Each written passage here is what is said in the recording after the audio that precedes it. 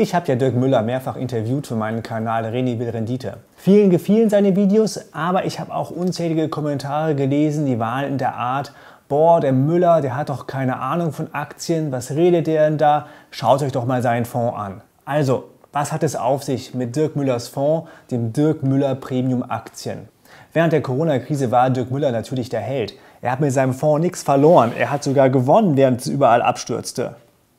Der Grund, Dirk Müller war komplett abgesichert. Es konnte ihm sozusagen nichts passieren. Doch seit dem Absturz ist es an den Börsen wieder nach oben gegangen. Und jetzt zeigt sich der Nachteil von Dirk Müllers Strategie. Denn er hat die Absicherung beibehalten und der Anstieg findet ohne ihn statt. Sein Fonds hat sogar ein bisschen verloren. Also, was ist los bei Dirk Müller und seinem Fonds? Hat Dirk Müller keine Ahnung oder wurde er einfach missverstanden? Diese Frage wurde ihm auch bei einer Online-Veranstaltung gestellt. Ich fand die Antwort ganz interessant. Hört mal rein. Wir haben von Anfang an gesagt, wir wollen durch diesen Hurricane, ich habe ihn angekündigt, ich habe gesagt, der Kram kommt. Es kommt genau das auf uns zu, was, äh, was jetzt auch passiert. Auch damals war es Verschwörungstheorie, jetzt ist es Allgemeinwissen. Ähm, und durch diese Zeit will ich das mein Geld und das der Anleger möglichst sicher durchbringen. Die Rendite ist vollkommen nebensächlich. Es geht darum, dieses Geld hier safe durchzubringen. Das ist Punkt eins.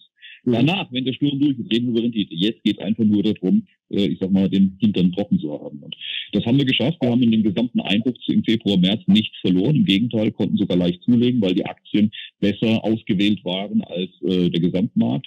Und durch Absicherungen äh, konnten wir das wunderbar kompensieren. Da hatten wir es gefeiert. Ey, wie hat der Müller das gemacht? Das geht doch gar nicht. Doch, das ist gar nicht so schwer. Man muss es nur richtig machen. Und in der Aufwärtsphase waren wir nicht dabei, weil äh, ich diese Aufwärtsphase in der Anfangsphase, war klar, es ist eine Gegenbewegung. Ich habe ja ganz am Anfang die Charts gezeigt die auch zu erwarten war, aber mit extremen Schwankungen. Wir hatten Tagesschwankungen von 5, 6, 8 Prozent hoch und runter. Nochmal, wir haben nichts verloren am Anfang und wir haben keine Schwankungen. Unsere Schwankungen waren ein halbes Prozent am Tag und ähm, unsere Anleger erwarten das auch, dass wir keine 8 Prozent am Tag schwanken. Das heißt, ich kann unmöglich in einer Erholungsphase, wo es jeden Tag mal 8 Prozent hoch, 5 Prozent runter geht, vielleicht über das Wochenende wieder 10 Prozent einbricht, die Absicherung auflösen und sagen, so, jetzt gehen wir mal ins Risiko. Jetzt wollen wir nach oben was mitnehmen. Und am nächsten Tag sage ich mir, oh, Entschuldigung, ich habe mich geirrt, es ging doch wieder runter, wir haben 15 Prozent verloren, aber ist ja nicht schlimm, ne? Das geht nicht. Also äh, haben wir diese Aufwärtsbewegungen, solange diese starken Bewegungen waren, auch bewusst nicht mitgemacht, blieben abgesichert, weil wir mussten auch nichts aufholen. Wir hatten ja vorher nichts verloren, also muss ich auch nichts aufholen. Wir konnten einfach nur das weiterführen, was wir gemacht haben, nämlich äh, die Luken dicht zu halten, solange der Sturm geht. Jetzt ist die Situation in Euro gerechnet, das kommt man etwa dahin mit den Märkten, wo wir auch vor der Krise waren. Und das nochmal klar.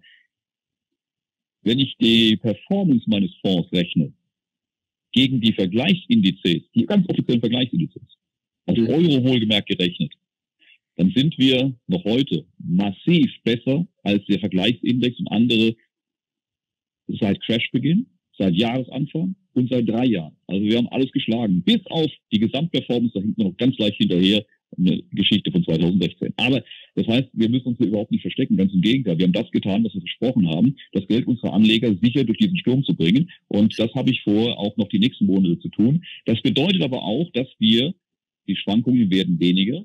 Wenn es jetzt weiter nach oben geht, auch nach oben versuchen, uns langsam in den Markt reinzuschaukeln, um nach oben auch, falls es zur Inflationierung kommt, äh, nicht äh, mit dem nackten Hintern im Wind zu stehen, sondern eben dann auch nach oben diese Inflation mitzunehmen bzw. auszugleichen. Aber die Kapitalerhalt geht allemal vor. Wer das nicht will, der findet 100 Fonds, 1000 Fonds, die das anders machen, die volles Risiko gehen. Die gehen hoch und runter und klasse. Die werden in einem Moment werden, werden so beschimpft, weil sie so viel Geld verlieren, im nächsten gefeiert, weil, oh, die sind doch toll gestiegen. Wir haben eine ganz klare Strategie von Anfang an, den Anlegern versprochen, ihr Geld sicher hier durchzubringen, soweit das möglich ist. Und dieses Versprechen konnten wir bisher einhalten, das werden wir weiter einhalten. Und äh, wer, ein, wer das möchte, wer einen Panzer haben möchte, der kauft einen Panzer und beschwert sich hinterher nicht, dass dieser Panzer nicht das Formel-1-Rennen gewonnen hat.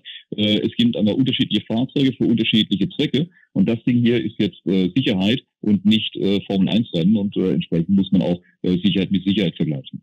Das ist natürlich mal eine ganz andere Sicht auf die Dinge. Kapitalerhalt statt Performance.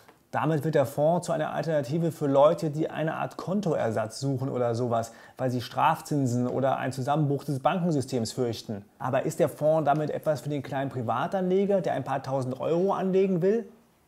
Dirk Müller hat auch nicht vor, in nächster Zeit seine Strategie zu ändern. Er rechnet damit, dass es nochmal abwärts geht. Auf der Veranstaltung wählte er dafür das Bild eines Hurricanes.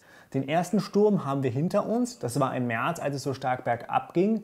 Jetzt sind wir sozusagen im Auge des Sturms. Es ist ruhig, aber die nächste Sturmfront liegt vor uns. Aber hört selbst.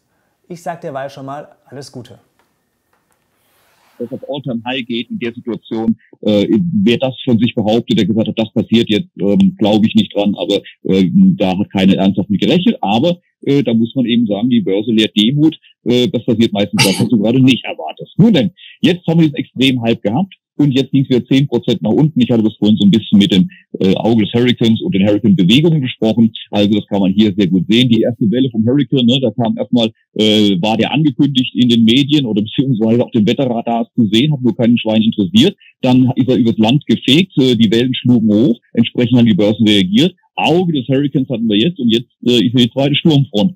Wenn das kommt, was ich erwarte, wird es nochmal heftig, aber wie gesagt, auch das keine Sicherheit.